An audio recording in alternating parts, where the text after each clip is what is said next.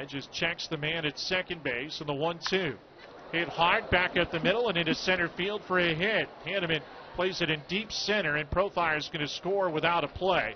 Will Middlebrooks delivers a two out RBI, and Round Rock takes the early one-to-nothing lead.